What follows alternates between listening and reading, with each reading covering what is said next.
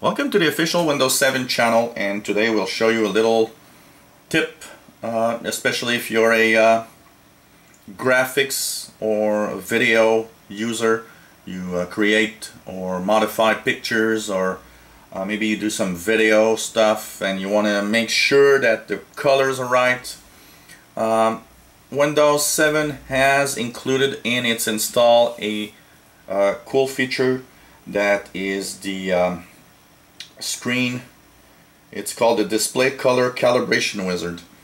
And so if you want to make sure that the colors you see are the right colors and that um, all the settings of your um, screen are right uh, this is a very very nice tool included in all Windows 7 installs. Uh, just go into the bottom left click the start button and at the little uh, search uh, programs and files uh, just type DCCW and press enter. And there you'll have welcome to display color calibration. And so all you have to do is follow easy steps. So you'll go for example next. And it's all explained what you have to do how you do things. And um, it gives you examples of what should be right, what should be uh, bad.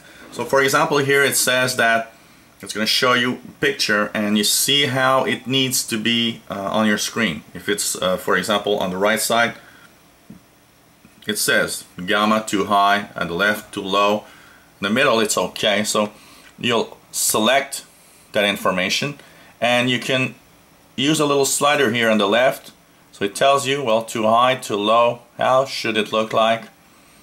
And so um, once you've settled, all you have to do is go next. And so all sorts of uh, screen brightness, color adjustments. Uh, it's really, really easy steps. And each steps are explained and tell you how your screen should look. So it is a basic way of uh, actually calibrating your screen but it is at least one of the methods, one of the ways you can actually calibrate your own screen uh, with something that's already in Windows and that's the cool thing about that. So here it tells you next what it should look like. Too dark, you won't see that. You see there's an X here, for example. Too dark on the left because you don't see it.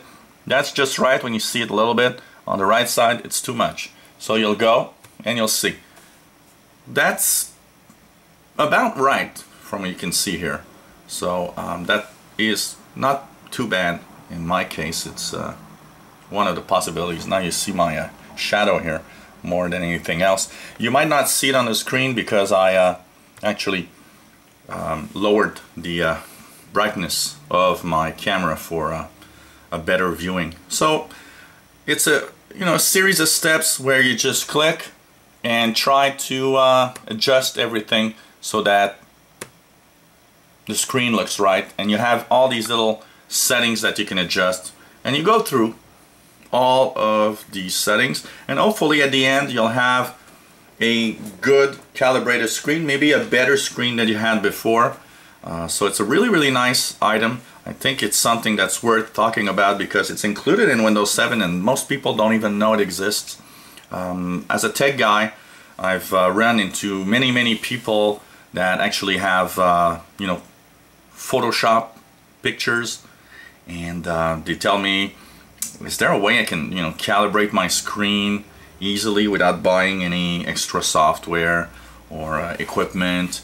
Um, and I tell them, well, you know, this is a good way. If you're using, for example, your HD TV with Windows 7, this is a cool little way to calibrate your um, TV screen with your Windows 7 computer. It will actually help you calibrate all those uh, white, black balance and colors um, so that everything looks better. And so um, you can use any Windows 7 machine and calibrate your HD TV with it. It's not going to be calibrated like a professional can calibrate because, you know, there's nothing better than a professional guy.